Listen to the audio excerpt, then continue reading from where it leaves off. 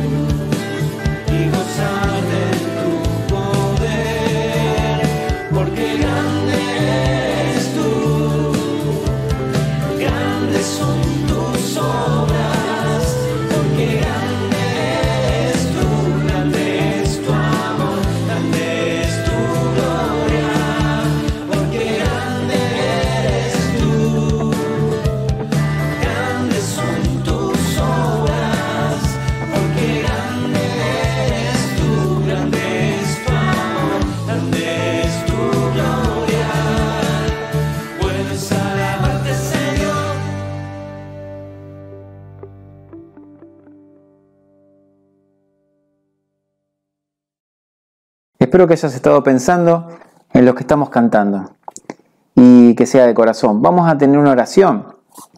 Vamos a pedirle al Señor que guíe este momento, que sea una reunión en donde realmente podamos estar eh, reunidos en su nombre, eh, buscando su presencia y siendo ministrados por su palabra. ¿Oramos?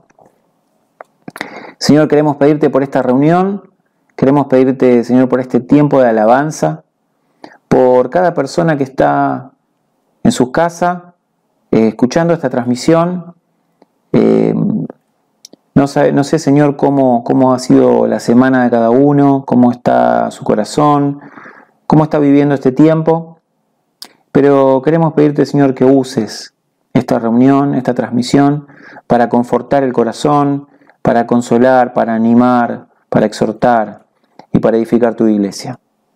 Señor, que allí donde estamos cada uno de nosotros podamos sentir que realmente estamos reunidos juntos, que estamos reunidos en tu nombre. Te lo pedimos en nombre del Señor Jesús. Amén. Vamos con la siguiente canción.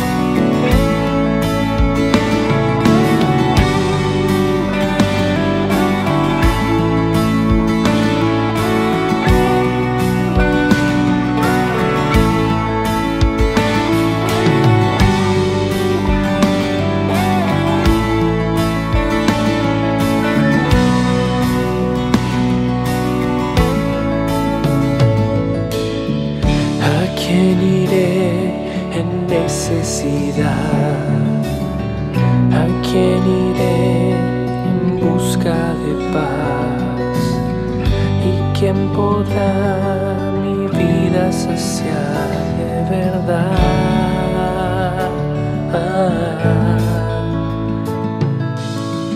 ¿Quién más tendrá de mi compasión? y entenderá mi corazón. ¿Quién cambiará mi eternidad sino tú, Jesús?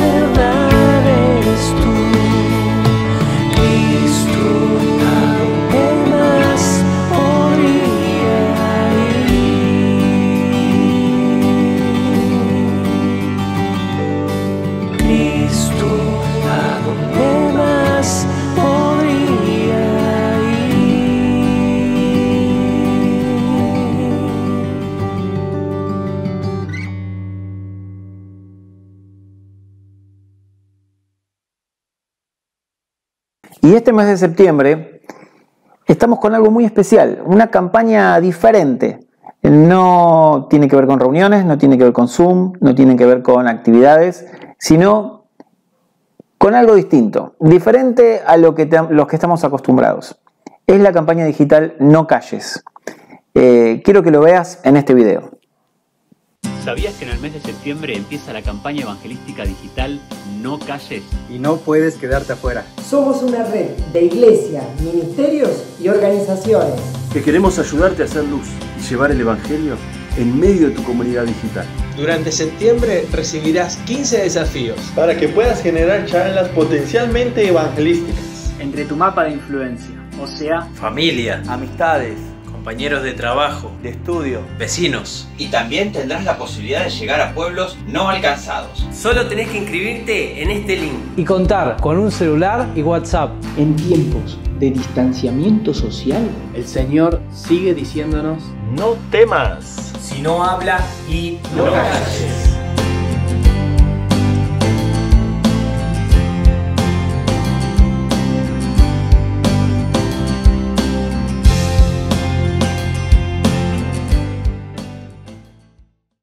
Bueno, y si querés participar en esta conferencia distinta, solo tenés que entrar a nocalles.com. Eh, ahí en internet, ahora cuando termine el culto, puedes entrar y fijarte de qué se trata para que puedas también participar. Vamos con la siguiente canción.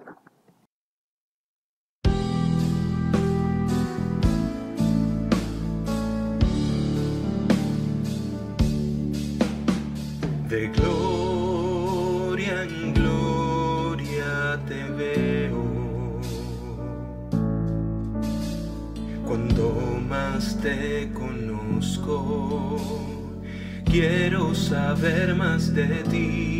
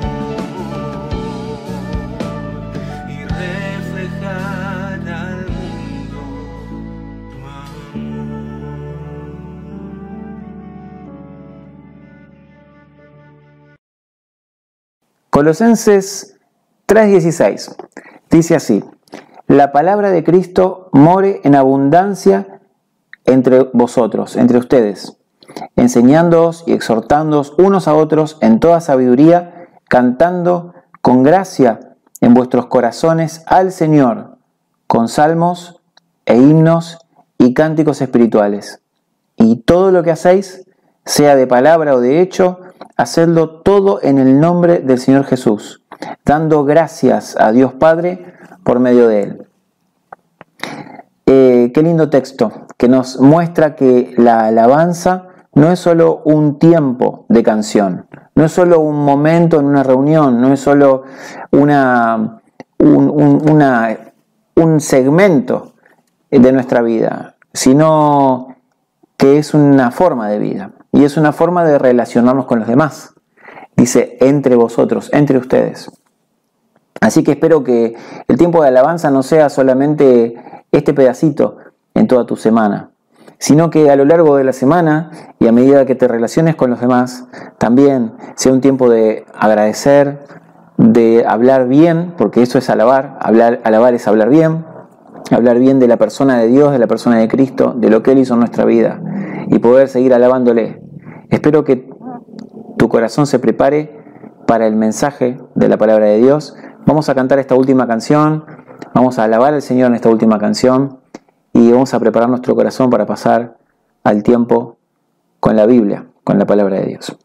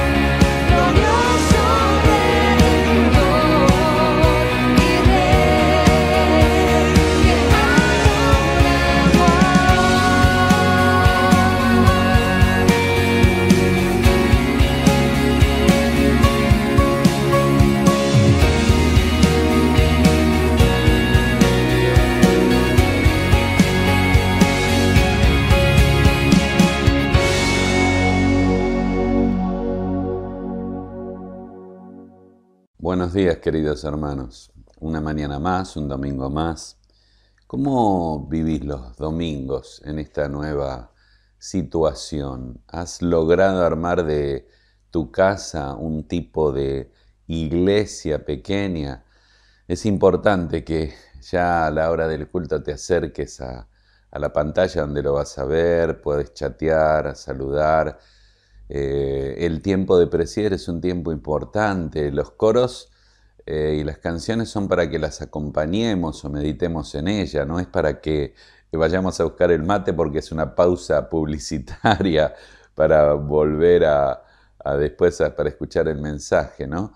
Es lograr generar ese ambiente, se logra como familia, como el papá de la familia debería lograr esto de poder que la familia esté alrededor de este eh, tiempo para escuchar la palabra y cuando venga el tiempo de la palabra, como es ahora, tengas tu Biblia y tengas papel y lápiz y estés atento, tal vez puedes compartir algo en, por chat también de lo, cómo el Señor va mostrándote algunas cosas, hablándote, pero tenemos que tratar todos de lograr hacer este tiempo de familia algo distendido, pero algo enfocado, porque es muy fácil estar eh, con un ojo en la televisión o en la pantalla y con otro haciendo otra cosa, y no es lo que sucedía o sucede en la iglesia, donde nos sentamos y estamos atentos al mensaje. Así que te invito a que tus domingos sean así, para después terminar y ya es como que uno disfrutó por lo menos de la charla con los hermanos, de las canciones, de la palabra, y después viene la hora del almuerzo el almuerzo de domingo tan especial, tan importante para nosotros, y poder ahí charlar o comentar de lo que Dios nos ha hablado. Así que espero que puedas armar tus domingos así. Este mes empezamos una serie de temas muy, muy interesantes. Si ustedes tienen su calendario, me imagino que todavía lo debes tener y lo estamos siguiendo, vamos a hablar por todo el mes de retratos bíblicos. Los retratos, viste, los cuadros están ahí para que los contemples pero cuando hablamos de retratos bíblicos, Dios los pone para que nos comparemos con esos retratos y crezcamos a la luz de eso. Es como que Dios pinta un cuadro y nos muestra, dice, este es el tipo de hombre que debe ser, el tipo de mujer que debe ser, el tipo de hijo que debe ser, el tipo de abuelo o abuela que debe ser. Así que este mes vamos a ver estos cuatro retratos. Hoy vamos a hablar de un hombre verdadero, el próximo domingo de una mujer excelente, después vamos a hablar de hijos sabios y después vamos a ver a los abuelos. Así que hay para todos. Y es lindo que como nos vamos a basar en solo un pasaje, que mires ese pasaje. Por eso tenés que tener tu Biblia, tener papel, tener lápiz. Y cuando vos vas dibujando, Dios te va dibujando el perfil de esa persona, decís, ¿cuán parecido soy yo a ese hombre, mujer, hijo o abuelo o abuela? ¿Cuán, cuán cercano estoy al modelo de Dios? Porque Dios ha sido tan sabio en su palabra de darnos su revelación, pero hacerlo de una forma que la podamos captar, que la podamos entender, que sea clara. El Salmo 112 presenta uno, podría haber otros cuadros. Salmo 15 también habla de el hombre temeroso, que, el hombre temeroso de Dios y piadoso que sube al monte santo. Pero el Salmo 112 nos da un perfil, un retrato del hombre verdadero muy interesante. Así que lo vamos a leer. Son 10 versículos. Toma tu Biblia, abrí el libro de los Salmos, ahí en el medio de la Biblia, 112. ¿Estás listo? ¿Tenés papel? ¿Tenés lápiz? Ahí vamos. Muy bien, dice el verso 1, bienaventurado. Esa es una palabra que la has oído en los Salmos y en las bienaventuranzas, ¿no? Un hombre feliz es el hombre que teme a Jehová y en sus mandamientos se deleita en gran manera. Su descendencia será poderosa en la tierra, la generación de los rectos será bendito. Bienes y riquezas hay en su casa, y su justicia permanece para siempre. Resplandeció en las tinieblas luz a los rectos, es clemente, misericordioso y justo. El hombre de bien tiene misericordia y presta, gobierna sus asuntos, dice el salmista, con juicio, por lo cual no resbalará jamás, en memoria eterna será el justo, no tendrá temor de malas noticias, su corazón está firme o estable o fijo, confiado en Jehová, asegurado está su corazón, no temerá hasta que vea en sus enemigos su deseo, reparte, da a los pobres, su justicia permanece para siempre, su poder o su honor será exaltado en gloria. Lo verá el impío y se irritará, crujirá los dientes y se consumirá. El deseo de los impíos perecerá. Mira, al abrir tu Biblia vos observas el Salmo 112. Vos tenés que entender que este salmo está a la par del 111. Ambos tienen 10 versículos y ambos están relacionados, van juntos. Ambos salmos son alfabéticos o acrósticos, lo que muchas veces hemos explicado de algunos pasajes de algunos salmos que están hechos en hebreo con la primera, segunda, tercera y las letras del alfabeto hebreo. La razón fundamental, había varias, pero era para memorizar. Así que es como que en castellano dijéramos que el Salmo 112 es desde la A a la Z, está hecho cada versículo, y el 112 también. Tenían la idea de, que la gente lo guardara, lo memorizara. Acordate, no eran eh, épocas de una cultura donde la gente podía estar escribiendo, tener un celular o una computadora, así que lo verbal era fundamental y el recuerdo y la memoria de lo que se decía también. Así que una regla mnemotécnica fácil era a través de las letras del alfabeto hebreo. Y es interesante porque en un sentido el autor usa todas las letras del alfabeto para describir una vida plena. Ahora, el Salmo 111 y 112 tienen una relación muy, muy importante. Si vos lees el Salmo 112, sería bueno que después lo leas. Vos vas a ver que habla de los atributos de Dios y vas a encontrar eh, las obras de Dios, ¿no? Eh, llegando a ser esas obras, las, esos atributos de Dios en el Salmo 112 se convierten en las cualidades del hombre de Dios. Así que es muy interesante. El Salmo 112 habla del carácter de Dios y sus obras, y el Salmo 112 habla del carácter del Hijo de Dios y sus obras. ¿Observás? Así que todo lo que vas a ver de Dios en el 111 lo vas a ver reflejado en el Hijo de Dios, en el hombre o la mujer que teme a Dios en el 112.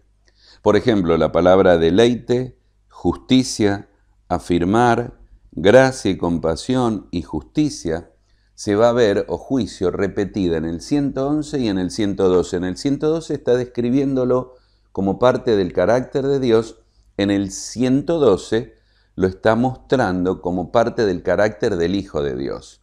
Y las obras de Dios del 111 que reflejan el carácter de Dios aparecen en el 112 como las obras que reflejan el carácter del Hijo de Dios, de alguien que ha conocido a Dios y lo tiene por Padre. Es muy interesante porque eh, Mateo 5 dice, sed pues vosotros perfectos como vuestro Padre que está en el cielo es perfecto. Esta es la relación de un hijo que imita a su padre, que revela el carácter de su padre. Así que no vamos a leer el Salmo 111, pero ten en cuenta esta relación, porque al fin y al cabo Dios quiere conformarnos a la imagen de su Hijo, Jesucristo. Y es por fe y por obediencia que logramos, que el Espíritu de Dios logra transformarnos. Ahora muy bien, aquí hay tres cosas que vamos a ver en este salmo. Vamos a ver sus características. Estas características vamos a encontrar. Vamos a ver las circunstancias que vivía y vamos a ver las consecuencias, el fruto, la recompensa de este tipo de vida.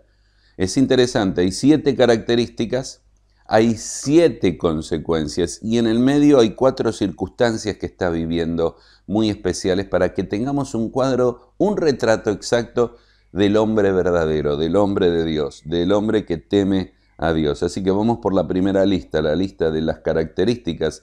Están en tu salmo, están en la Biblia no hay que, mm, no es muy difícil rastrearlas y seguirlas. En primer lugar, verso 1, teme a Jehová. Ahora, si querés entender el verso 1, tenés que leer el verso 10 del Salmo anterior, del Salmo 111, porque el Salmo 111 termina diciendo, el principio de la sabiduría es el temor a Jehová. Buen entendimiento tienen los que, todos los que practican sus mandamientos. El principio de la sabiduría es el temor a Jehová. Y en el verso 1 dice, la primera característica del hombre verdadero es que teme a Dios. Dios es su punto de referencia. Principio lo hemos explicado mucho, el de Proverbios 1.7, no es el principio porque hay un segundo, es el fundamento, es donde todo se sostiene y depende.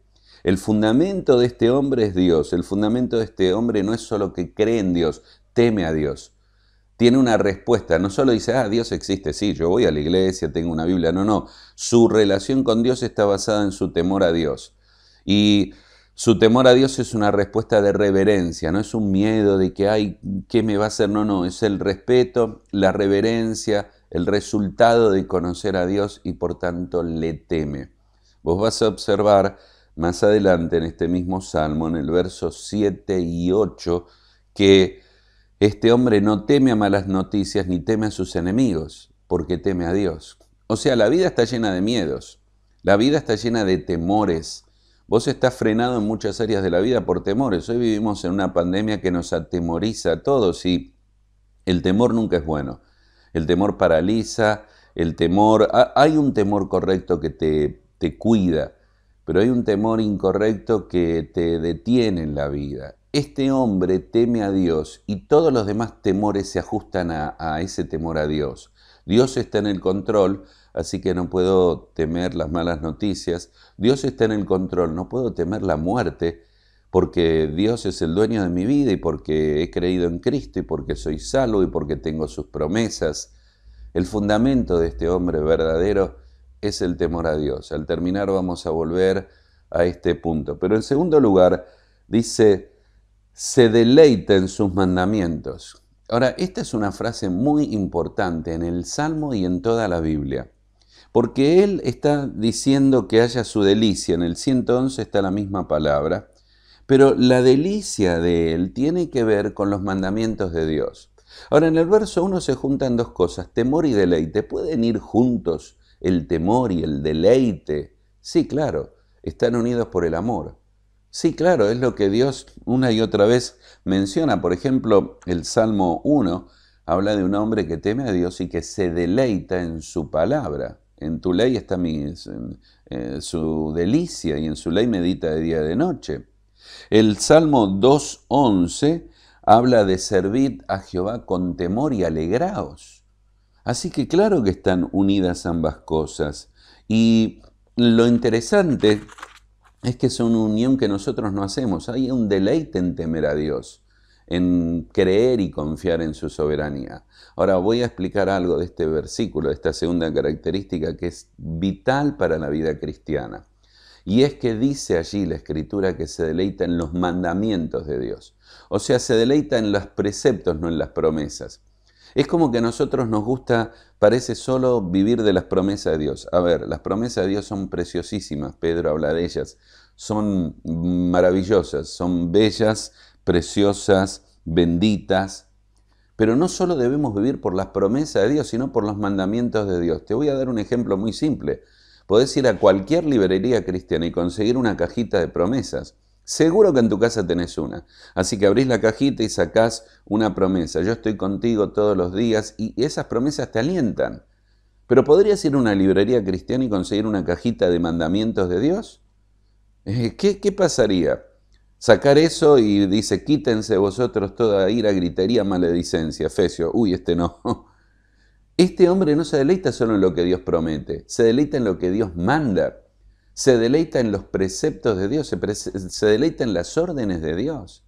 Ay, qué bendición, Dios prometió estar conmigo. Qué bendición, el Señor va a cuidarme, el Señor. Esas son promesas que te alientan, te animan. Pero cuando Dios te pide algo, también debes hallar deleite. ¿Por qué? Bueno, hay varias razones. Primero porque los mandamientos de Dios no son órdenes que Dios hizo y escribió para perjudicarte o porque tenía eh, ganas y tiempo. No, no, los hizo porque todos sus mandamientos son un reflejo de lo que Él es. Así que cuando vos obedeces un mandamiento de Dios, cuando yo obedezco lo que Dios me pide como esposo, como padre, como joven, como abuelo, yo en ese mismo momento estoy reflejando el carácter de Dios. El carácter de Dios está eh, está transformando mi vida por causa de ese acto de obediencia a lo que Él dice. Así que sus mandamientos son un reflejo de, lo, de su persona, de su carácter. Hay otra razón muy importante que Juan la aclara. Primera Juan, capítulo 5, el verso 3, dice, pues este es el amor de Dios, que guardamos sus mandamientos. Y escucha bien, anótalo por ahí, subrayalo en tu Biblia, Primera Juan 5, 3, y sus mandamientos no son gravosos. ¿Sabes qué quiere decir la palabra gravosos? no son pesados, no son una carga, no son difíciles de cumplir. A veces tenemos la idea de que lo que Dios nos manda es una carga. Uf, tengo que perdonar, qué lucha, tengo que amar a este que no quiero amar, tengo que... No son una carga, no son algo difícil, no, no. ¿Sabes lo que es pesado en la vida? El pecado es pesado en la vida. El pecado, el peso del pecado que nos asedia, Hebreos capítulo 12. Los mandamientos de Dios son una bendición, no son gravosos. Guardátelo en tu corazón. Memoriza el texto de Primera Juan. Lo que Dios te pide no es un castigo, no es una carga, no es una, e, es una bendición para la vida. Este hombre ha logrado ser el hombre bendito, bendecido, porque se deleita en los mandamientos de Dios. En tercer lugar, es un hombre justo, porque es justo ante el Señor. Fíjate el verso 3, dice, eh, y su justicia permanece para siempre, y gobierna sus asuntos con juicio, verso 5, y su justicia permanece para siempre. Y una y otra vez habla de una vida justa. Nosotros no usamos mucho esta palabra. Decimos, esta persona es buena, esta persona es una persona humilde, es una persona que ama al Señor. Pero la palabra justa tendríamos que incorporarla más a nuestro vocabulario. Habla de una vida correcta, de una vida recta, de una vida íntegra. Cuando decimos, este hombre es justo, esta mujer es justa, este líder, pastor, esposo, abuelo, es justo, eh, su vida es recta, es correcta, está apegada a la justicia de Dios. Es una descripción muy importante del tipo de vida que Dios quiere que vivamos. Por eso cuando hace este retrato bíblico, muchas veces menciona esto de la justicia de Dios y está relacionado mucho al Salmo 112, que habla de la justicia de Dios. Las obras de su mano son verdad y, juicio dice el verso 7 del Salmo 111. Porque el carácter de Dios tiene que ver no solo con su amor y bondad, misericordia, también con su justicia.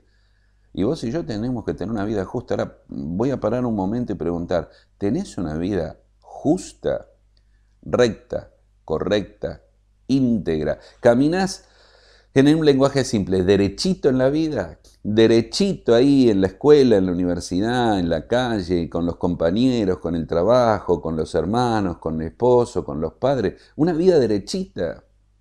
Esto es lo que tiene esta persona. En cuarto lugar, es clemente y misericordioso. Ahora, ambas cosas están mencionadas en el versículo 4 del capítulo anterior. Dice, clemente y misericordioso es Jehová. Ahora ves, el reflejo en la vida de este hombre es que él es clemente y misericordioso como Dios lo es. ¿Saben? Es una característica de Dios. Es el reflejo de lo que Dios es. ¿Podrían la gente catalogarte de clemente y misericordioso, ponelo en una palabra más cercana a vos, compasivo.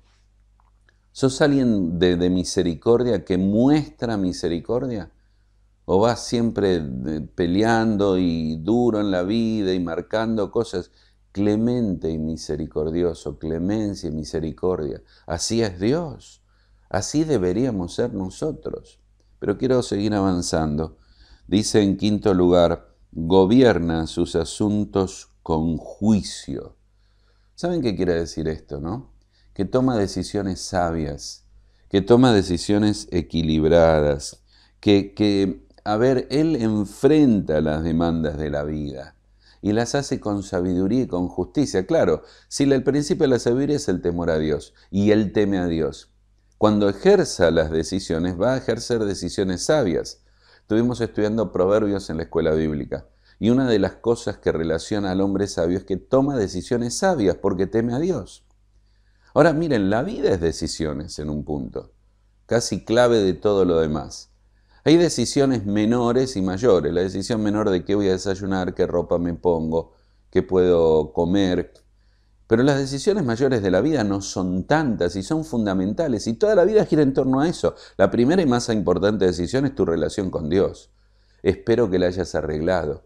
Espero que hayas decidido creer en Cristo como Salvador personal. Espero que si sos un chico o un adolescente no vivas de la fe de tus padres que te llevaron a la escuela dominical, ahora te sientan en la máquina y dice, te pones en el Zoom de la escuela dominical, en el de los pre o en el del club bíblico.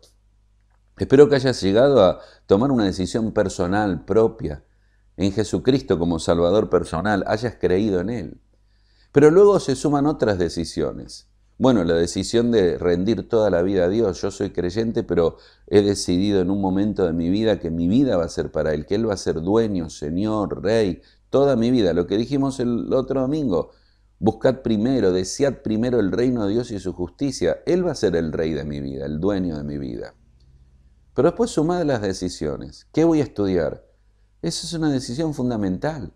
Tu vida va a depender fundamentalmente de tu estudio que te va a guiar hacia un trabajo. Así que estudiar es muy importante, terminar la primaria, la secundaria y después proyectar una carrera que va a ser tu trabajo y va a ser tu fuente de ingreso. Y no puedes equivocarte, tiene que ver con cómo Dios te formó y los gustos que Él puso en vos, los deseos, las inclinaciones de lo que te gusta hacer, después la disciplina y el sacrificio de estudiar duro para lograr alcanzar ese título que te dé la posibilidad de trabajar, decisiones. Una mala decisión te va a traer consecuencias de casado y con los hijos y en lo económico, decisiones. Y después tenés que decidir con quién te vas a casar. Esa es una tremenda decisión en la vida. Después de conocer al Señor es la decisión más importante de la vida porque define todo lo demás. Así que va a ser una decisión que vas a tener que temer al Señor y buscarlo a Él y confiar en Él. No es una decisión que solo vas a tener que confiar a tus ojos por lo que te gusta eh, externamente. Eso es una parte. Vas a tener que depender del Señor. Y luego la decisión de cómo vas a llevar adelante tu matrimonio y cómo vas a armar tu hogar y dónde van a vivir y, a qué iglesia se van a congregar y cómo va a ser tu vida de servicio al Señor.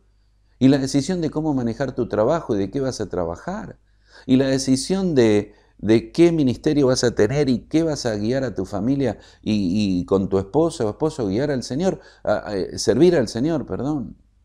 Son decisiones, cuando vos las enlistas, no son tantas las decisiones principales de la vida.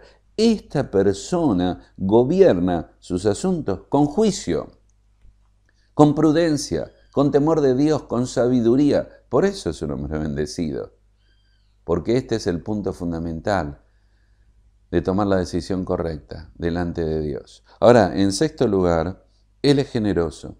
Dice que presta y después dice, verso 9, eh, reparte, da a los pobres, su justicia da para siempre. ¿Ves que dice presta y reparte? Claro, él lo hace primero desde el, él gobierna con juicio, sí que sabe cuándo dar, cómo dar, dónde dar pero tiene la generosidad, el, justo da y no detiene su mano. El ojo generoso dio su pan al indigente. Es una persona que la generosidad está ligada a su vida. Es muy importante que entiendas que hay un perfil de hombre y de mujer de Dios, en este momento voy a ampliar la idea, que tiene que ver con la generosidad. Cuando comencé mi vida cristiana, si me preguntabas un perfil de alguien espiritual, yo hubiera puesto leer la palabra, que es así, estudiarla, orar, servir al Señor, ser fiel en la membresía de una iglesia, congregarte, evangelizar. Pero no incorporaba en mi lista lo que hace muchos años incorporado en ese perfil, la relación con lo material, la relación con lo económico, es fundamental en la vida. Porque si yo voy a leer la palabra y servir al Señor, a su vez tengo que tener el corazón del Señor. El corazón del Señor ha siempre sido dar. Por eso siempre estamos cada año hablando de generosidad y me van a escuchar hablar de generosidad, porque está incorporada en esta lista que Dios ha dado. Cuando Él habla de las características de este hombre, no dice, Él es un gran predicador, es un misionero. No, no, las misiones están para él en su corazón. La escuela dominical es lo más importante de su vida, el, asistir el domingo a la iglesia. Está dando el perfil de su carácter y su carácter va directo hacia la parte económica. Sí, teme a Dios, gobierna con juicio, tiene una vida coherente con lo que cree, pero Él reparte, da a los pobres, su justicia permanece para siempre.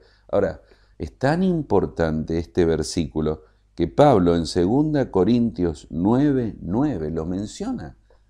Cuando Pablo habla de la ofrenda, 2 Corintios 8, 2 Corintios 9, dice, y, como está escrito, y cita Salmo 112, verso 9, repartió, dio a los pobres, su justicia permanece para siempre.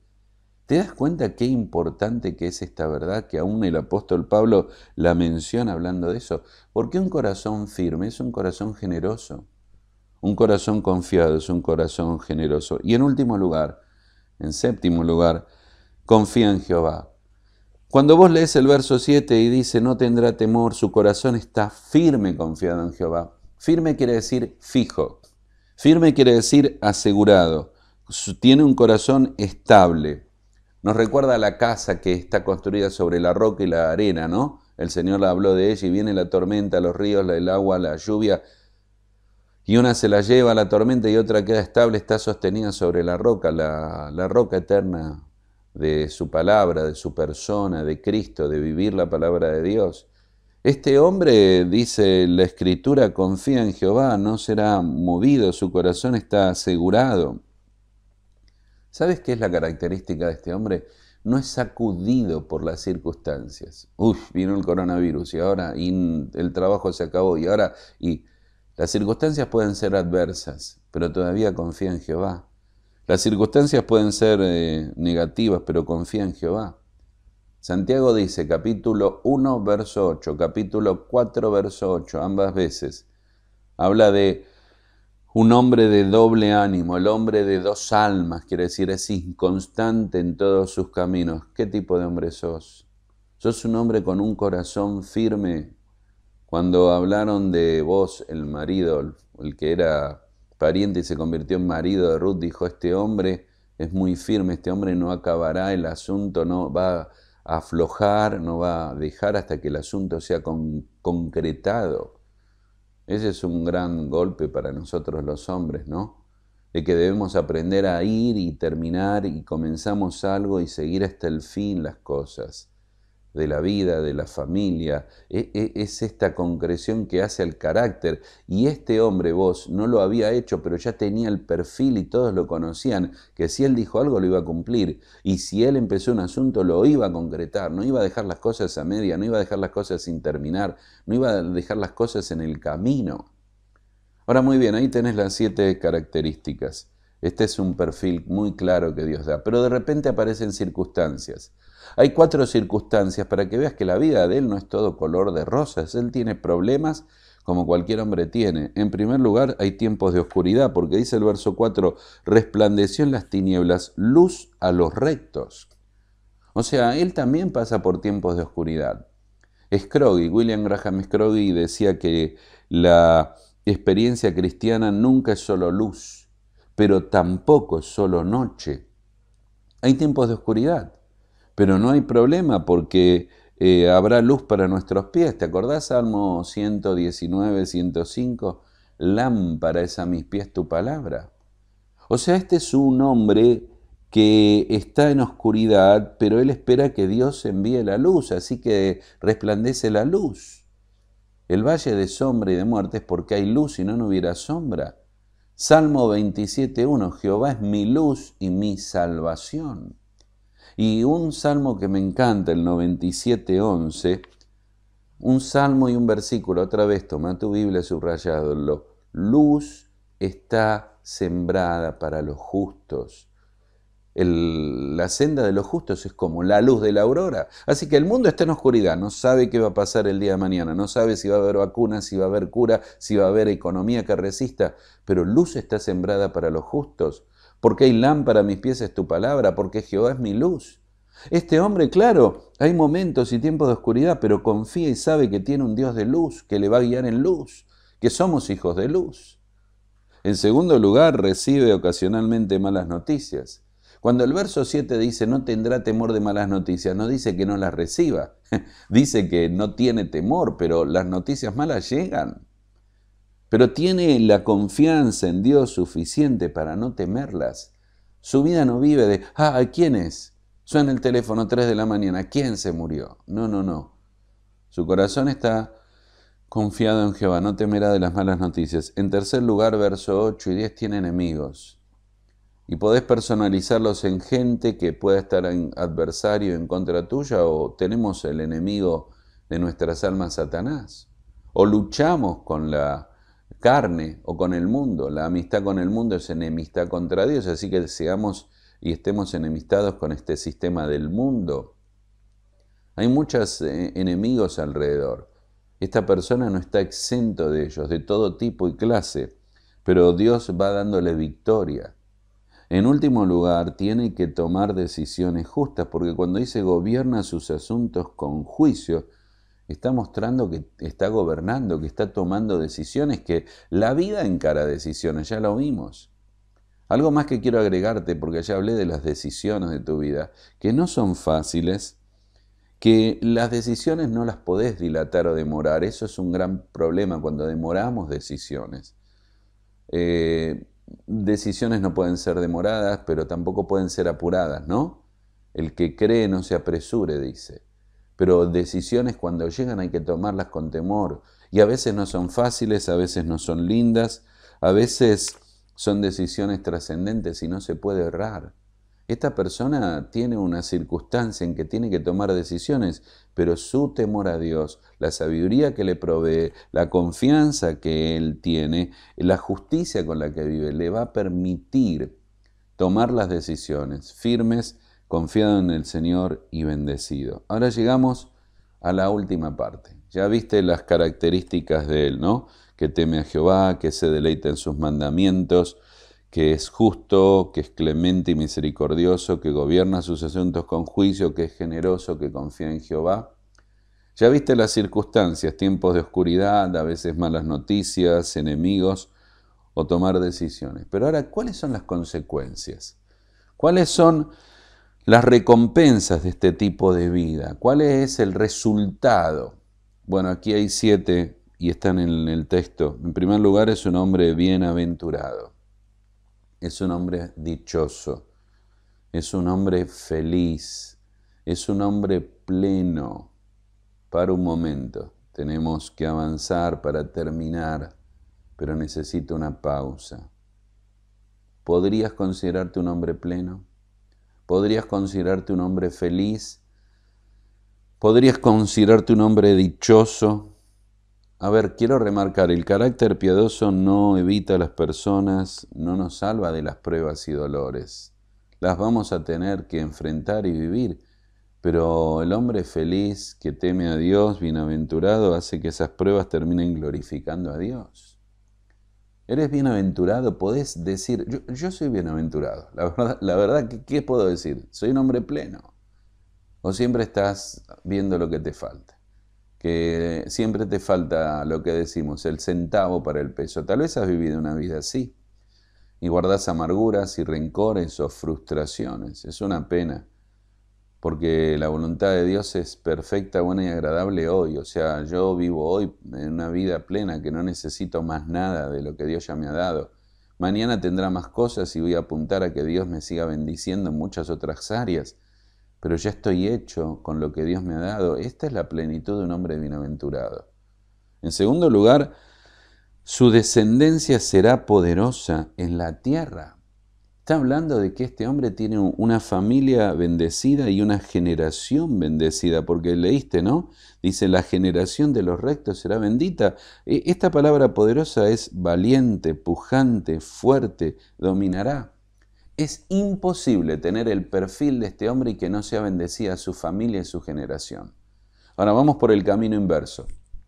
Si tu familia y tu generación no es bendecida es porque tal vez algo en vos está fallando. Porque tal vez algo en mí no ha, funcionado bien. Porque eh, el Señor dijo, eh, eh, cuando habló a Abraham, ¿te acordás Génesis capítulo 12? Te bendeciré para que bendigas. En ti serán benditas todas las naciones. A vos te bendigo para bendecir. Este es el perfil de un hombre que inevitablemente va a reflejar ese carácter en la familia. Mira tu familia. Yo no quiero llevarte con la carga y la culpa porque los hijos crecen y toman sus decisiones, pero es inevitable que muchos de los hijos y hijas tienen que ver con lo que vos y yo somos. No podemos liberarnos de esa responsabilidad. No podemos lavarnos las manos. El carácter espiritual del hombre que ama a Dios, que le busca, que le teme, se va a reflejar sí o sí en la familia y en la generación. ¿Será qué? Poderosa, valiente, eh, pujante, fuerte. Y hay, otra versión que dice dominarán sobre, dominarán porque e, es el reflejo de una persona que impacta la vida de los que le rodean. Esta es una consecuencia que no abarca a él, sino llega hasta las otras generaciones. Acuérdate, en la Biblia bendiciones y maldiciones llegan hasta la tercera generación. O sea, los nietos son benditos o los nietos viven las consecuencias también de los abuelos. Tan es así, tan es así. No podemos evitarlo. Pero en tercer lugar, este hombre dice, resplandece su luz. Verso 4, en las tinieblas brilla. Es como una luz que brilla en la oscuridad. El Señor dijo, vos no tenés una lámpara y la pones debajo de la. La lámpara se pone alto y brilla para traer luz en la oscuridad. ¿Tu vida trae luz en la oscuridad? ¿Sos el faro de luz de referencia? Decime, tus hijos acuden a vos por consejo, tu esposa busca en vos el apoyo y el consejo, se casan los hijos, ya son grandes, vuelven por consejo, vuelven por oración, vuelven por apoyo. Esta persona, este hombre, es una luz que va resplandeciendo en la oscuridad de este mundo, va brillando. Ojalá que puedas sentir lo que yo siento. Yo me siento mal en un punto. Porque cuanto más veo retrato bíblico de Dios, más veo qué lejos que estoy. Pero esta mañana es para poder decir, Señor, perdóname, quiero crecer, quiero cambiar. Si no, no estarías todavía hablándome. Me hablas porque crees en mí y crees que hay esperanza de que las cosas cambien. Así que yo quiero ser cambiado en esta mañana. En cuarto lugar, dice verso 6, no resbalará jamás. No habla que no, no ha de pecar, peca, confiesa. No, no está hablando de una vida sin pecado. Está hablando de que no será movido. Está sostenido, está firme. E, es la casa sobre la roca que dijimos. Las circunstancias de la vida no lo sacuden. Lo pueden agitar un poco, pero Él está sostenido en Dios, en su palabra, en la persona de Cristo. Es, es una persona, por eso dice, no resbalará jamás. Qué bendición, qué consecuencia, qué recompensa, qué promesa. En realidad no está diciendo yo solo es porque Dios te va a cuidar, sí, Dios te va a cuidar y va a proteger. Pero aquí está diciendo es que como Él ha puesto primero a Dios, como Él teme a Dios, como Dios es su referencia, el punto más importante de referencia en su vida, el eje central de su vida, este Dios al que he puesto primero va a mantenerlo en la firme estabilidad de una vida equilibrada. Estabilidad es una palabra que podría enmarcar todo el carácter de este hombre también, ¿no? Es un hombre estable, estabilidad porque está dependiendo del Señor.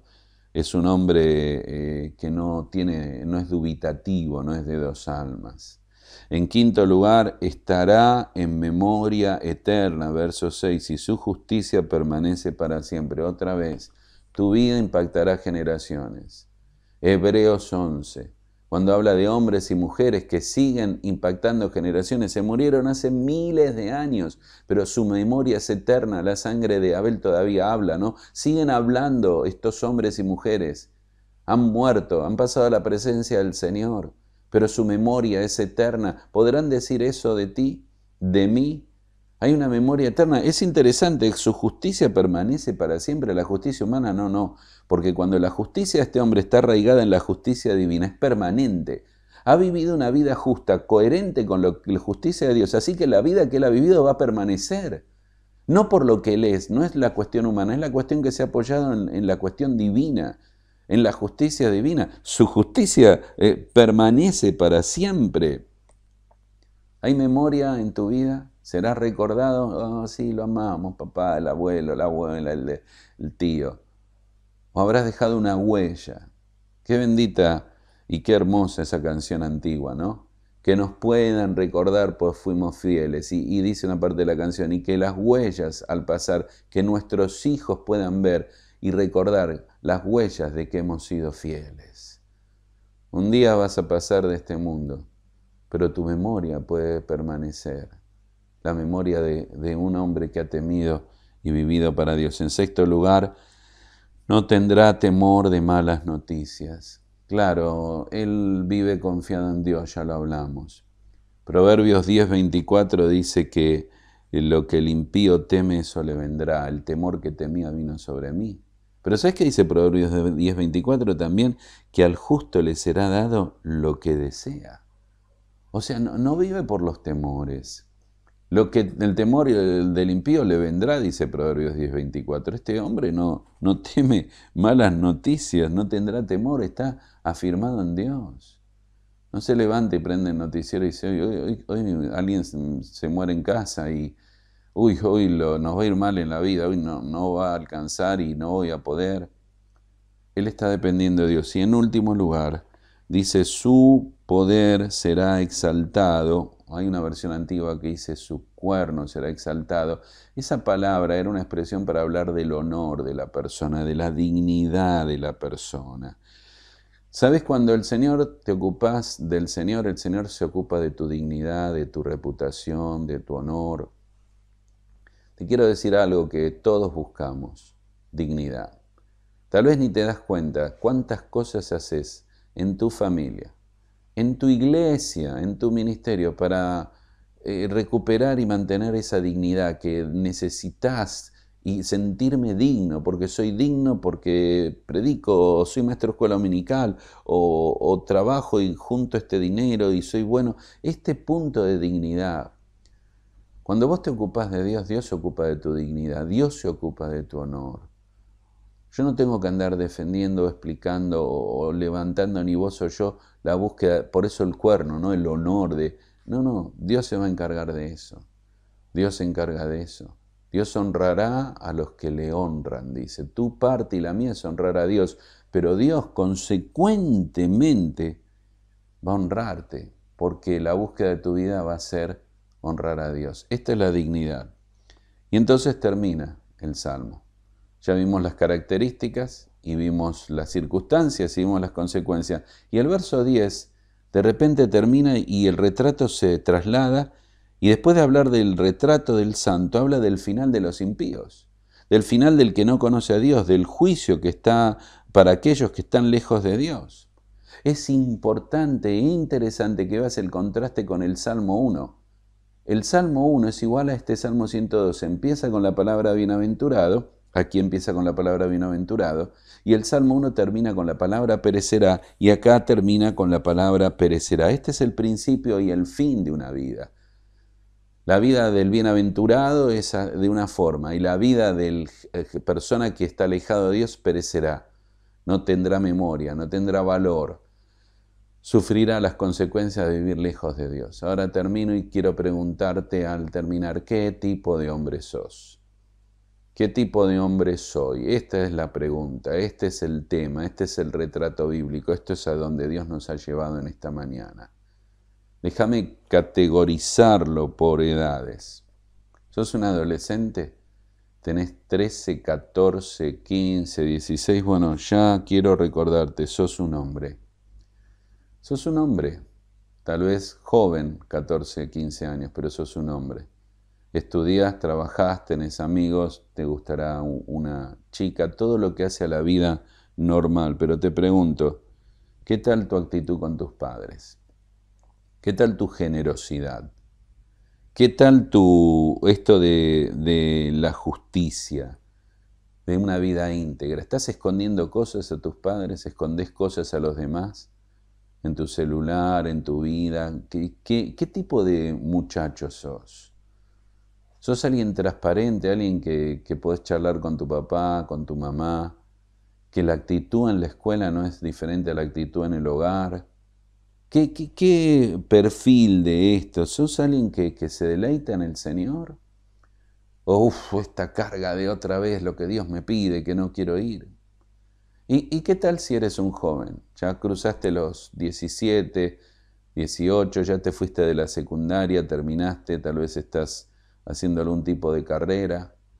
Ya tenés la estabilidad del hombre de Salmo 112, tu fe es estable, tenés una confianza en el Señor tenés una relación estable con el Señor. La estabilidad no se logra a los 50, 60, comienza desde joven. Es una vida estable. Tenés tus subidas y bajadas, tus días alegres y tristes, pero hay estabilidad en mi relación con Dios, hay mi estabilidad cuando oro, cuando leo la palabra, cuando eh, me congrego en la iglesia, cuando anuncio el Evangelio, cuando doy de mi ofrenda. Hay una vida estable que la afirmás desde joven. No esperes ni a casarte. En realidad te quiero decir algo, yo estoy seguro que tenés muchas ganas de casarte. No podés armar un hogar si no tenés estos principios fundamentales ya bien establecidos. Porque eso le va a dar estabilidad a tu esposa y a tus hijos y sobre esa estabilidad se va a armar tu hogar.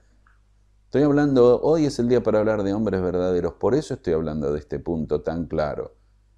¿Y qué tal si ya estás casado?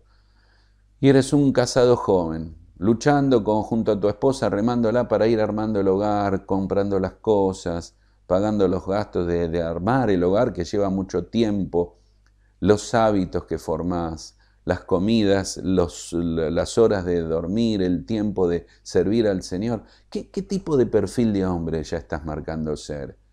¿Sos un hombre temeroso de Dios? Un hombre que, que Dios es primero. Tu esposa sabe que Dios es primero en tu vida, que Él es el Rey, Él es el Señor. Hay algo que no duda, es eso. Conoce ya, empieza a conocer tus fallas, porque ya están viviendo juntos. Sabe de, los lados oscuros de tu vida y los conocerá después más. Pero sabe que temes al Señor, que tu relación con Dios es auténtica, que para vos Dios no es un juego, no es una religión, es la realidad de tu vida. ¿Qué estás? ¿Y sos un hombre de mediana edad? ¿Estás en la mediana edad, en la, mitad de la vida? ¿Qué tenés las frustraciones? Las frustraciones de que el, trabajo, las cosas no fueron como debían ser. Todavía pensás que las cosas no pueden ser distintas. Dios cambia, pero está esperando que vos estés dispuesto a ese cambio, que vos estés dispuesto a crecer. ¿Qué pasó con tus hijos? ¿Ya los entregaste? Vuelvo a repetir, yo no te acuso de las decisiones de tus hijos, pero ¿por qué entregarlos tan rápido? ¿Qué vas a hacer para recuperarlos? ¿Qué vas a hacer para que vuelvan al Señor? Están en los caminos del Señor. ¿Qué vas a hacer para que se mantengan en los caminos del Señor? Job vio a sus hijos y volvía, ofrecía sacrificio y dice, quizá me habrán pecado. No me quedo con lo que veo que parece que está todo bien. Lucho por ellos. La parábola del hijo pródigo, hay cosas que el Señor no dijo, era una parábola. Pero él podría haber indicado la época o el tiempo en que tardó el hijo en volver. No sé si tardó dos, cinco, diez años. Pero el Padre siempre estuvo ahí, el Padre siempre lo esperó, el Padre no abandonó, no importa la vejez y los años, siguió peleando y luchando para rectificar las cosas. Sentarse con los hijos ya grandes, pedirles perdón, cambiar el rumbo, querer crecer. ¿Por qué no lograr ser este hombre de verdad? ¿Y eres un hombre mayor? ¿Qué se murieron los proyectos? ¿Cuándo se murieron los proyectos de tu vida? ¿Por qué no seguir estudiando? ¿Por qué no seguir creciendo? ¿Por qué no seguir avanzando en la fe? ¿Y qué tal la generosidad? ¿Y qué tal la confianza en el Señor? ¿Y qué tal la, actitud continua de un corazón asegurado y estable en el Señor? Ya debes dejar esta inestabilidad que voy para acá, voy para allá. Seguí al Señor, viví para el Señor. ¿Te atreverías a preguntar a tus hijos, hijos, ¿qué opinan de mí? A cada uno de ellos en particular. No, no te da miedo porque saben, los hijos son lo más lo más imparciales porque te aman como nadie te aman, pero a su vez te conocen como nadie te conoce. Entonces conocen que tenés cosas buenas, pero conocen tus lados malos. Y a veces los lados malos pesan mucho. Y te siguen amando. Y ese es el cortocircuito que le traemos a los hijos, porque nos aman, pero a su vez saben que tenemos demasiadas cosas no bien correctas, no bien arregladas, no bien dirigidas en la vida. Miren, este es el retrato que a mí me, pega y yo soy el primero que quiero crecer y cambiar. Yo te invito a que te pongas de este lado, vení del lado mío. ¿De qué lado? Del lado de un hombre que quiere pedir perdón. Del lado de un hombre que quiere decirle, Señor, todavía hay vida, quiero ser un hombre verdadero. Señor, quiero ver el retrato del Salmo 102 y me miro y ese soy yo, Señor y me falta uno o dos, pero la mayoría de las cosas soy yo. No un retrato, ¿quién es este? Este no soy yo. Yo no, no, no, temerte, ponerte primero, generosidad, confiar en ti, tener una familia bendecida, ser este hombre pujante que, que, en estabilidad cree y avanza, que no vive de temores. ¿Soy yo ese hombre o no lo soy? La respuesta está en vos y está en mí. Pero si querés venir de este lado, vení para que pidamos perdón juntos, para que busquemos al Señor juntos, porque nunca es tarde. Nunca, nunca es tarde. Siempre Dios quiere cambiar la vida. A lo largo de los años he oído muchas historias. Y a veces las historias vienen de personas jóvenes y digo, bueno, Dios tiene tantas cosas por delante, a veces de una edad más avanzada y a veces de personas grandes. Si uno ve una historia tan grande y dice, mm, pero hay vida todavía, mientras que haya vida y esperanza. Mientras que haya vida hay todavía posibilidades de hacer y ver a Dios obrar en tu vida. Nunca, nunca se cierra la esperanza, nunca se cierran las oportunidades. Dios siempre tiene un propósito, un plan algo que seguir armando y cumpliendo en tu vida, aunque hayas pecado, aunque te hayas alejado del Señor, aunque hayas hecho todo mal y hayan pasado tanto tiempo, todavía Dios quiere hacer algo nuevo en tu vida, mientras que haya aliento de vida, todo lo que respira, alabe a Jehová. Te invito a que esta sea una mañana de renovación y de transformación. Vamos a inclinar la cabeza para orar. Al inclinar la cabeza siempre estoy pensando en este mensaje, a dónde puede llegar. Lugares que no conozco y personas que ni me imagino, pero Dios te conoce, eso es lo impresionante. Y tal vez has recordado en este mensaje a tu papá y has mirado tu propio corazón y hay mucho dolor y hay muchas cosas que resolver. ¿Qué te parecen arreglarlas en esta mañana? Tal vez estás allí y no estás seguro de ser perdonado, de ir al cielo, de tener salvación. Sabes, en la Biblia salvación es por fe, no por religión, es por creer en Cristo. Y sabes, en la Biblia para ser salvo hay que reconocer mi pecado. ¿Por qué en esta mañana no hablas con Dios? Ahí, en ese mismo lugar donde estás y le decís, Dios, perdona mi pecado. Llegué a escuchar este mensaje, Tal vez estás aún solo, pero Dios está hablándote. Dile, Dios, perdóname. No doy más. Estoy desgastado, sucio. Soy un pecador, una pecadora. Perdóname. Dile, creo, porque salvación es por fe, no es religión, es creer. Creo que Cristo murió por mí. Porque Cristo pagó el precio de tu pecado, eso dice la Biblia. Dile, creo que Cristo murió en la cruz, por mí resucito y quiero que vengas a mi corazón y me salves. Ven a mi vida, perdóname, sálvame, creo en ti. Y si eres creyente con 15 años, tienes 30, 50 o 70, dile Señor, perdóname Señor, ayúdame a ser un hombre verdadero. Ayúdame a ser el hombre que resplandezca tu luz en la oscuridad y que pueda tener una generación y una familia poderosa y una generación bendecida como consecuencia de mi temor a ti. Díselo, Dios, Dios te está escuchando. Querido Señor, te damos gracias por tu palabra un retrato tan claro que nos ilumina, también nos avergüenza y nos humilla. Te rogamos que podamos seguir meditando en esta semana en tu palabra, cada día, leyendo este Salmo 112, repitiéndolo y viéndonos cuán lejos o cerca estamos de tu retrato bíblico. Oramos por la salvación de algunos en esta mañana y porque puedas transformar nuestra vida para que levantes hombres verdaderos, adolescentes, jóvenes, adultos, mayores, hombres que tengan el perfil y el reflejo conforme al corazón tuyo, que reflejen el carácter de Cristo. Así queremos ser. Oramos y te lo pedimos todo en esta mañana en el nombre del Señor y Salvador Jesucristo. Amén. Muy bien, espero que puedas tener una linda mañana, un lindo almuerzo con la familia. Escribí algo antes de salir de, este lugar, podés ahí en tu chat saludar, eh, conversar de lo que hemos hablado, compartilo, volvé a leer, volvé a pensar y pasa un hermoso domingo, un lindo día del Señor. Disfrútalo plenamente, el Señor es bueno. Que Dios te bendiga. Espero que haya sido un tiempo de encontrarte con el Señor a través de su palabra, que Él haya hablado a tu corazón, que Él te haya desafiado, te haya animado, te haya consolado, te haya quizás exhortado o amonestado, te haya hablado de algo para cambiar o un nuevo desafío para emprender. Así es la palabra de Dios y así es cada vez que nos encontramos con ella. Nunca podemos salir igual.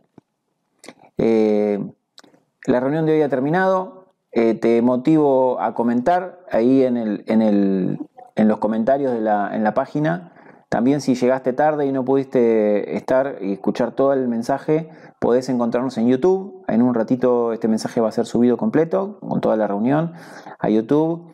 También si querés participar con tus ofrendas de nuestra, de nuestra iglesia, este, fíjate que en la, misma, en la misma página donde estamos transmitiendo el mensaje hay un botón y un sector para que lo puedas hacer. No te pierdas, mantenete en contacto con nosotros, escribinos un mensaje, decinos. Quisiéramos conocer y enterarnos de todas las personas que se están conectando y que están recibiendo este culto y que por ahí no sabemos quiénes son, no las conocemos. Y sería un, un gusto poder saludarlos y poder saber de ustedes. Mándenos un mensajito, quizás pueden mandar un agradecimiento o un saludo, quizás tengas alguna pregunta. Estamos abiertos para que lo hagas, queremos conocerte, queremos contactarnos con vos. Así que no pierdas la oportunidad. Eh, espero que tengas un excelente domingo, que el Señor te bendiga, que tengas una excelente semana y nos despedimos con esta canción. Chao.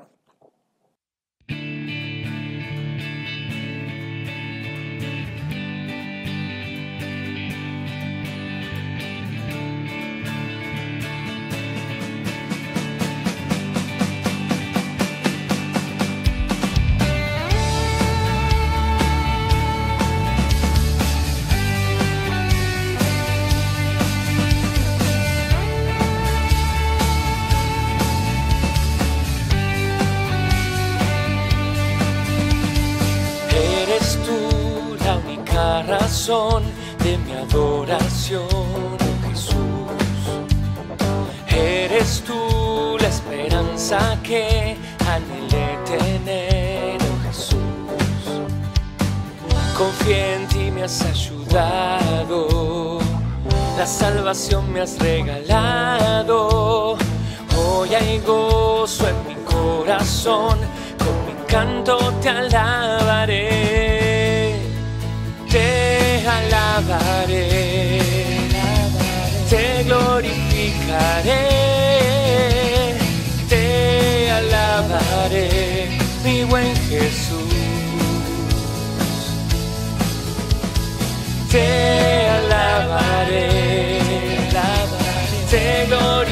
glorificaré.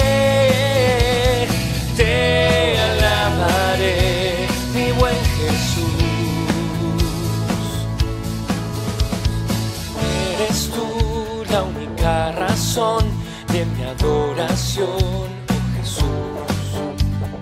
Eres tú la esperanza que anhelé tener, oh Jesús.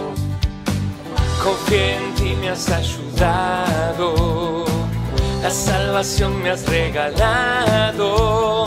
Hoy hay gozo en mi corazón, con mi canto te alabaré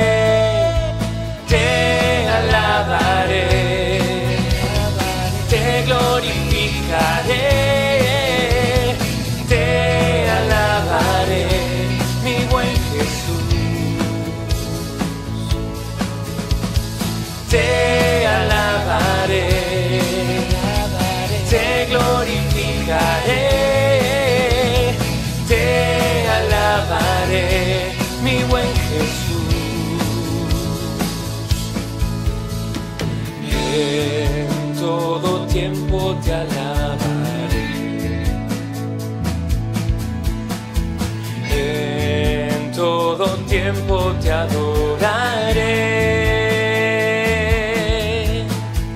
En todo tiempo te alabaré. En todo tiempo te adoraré.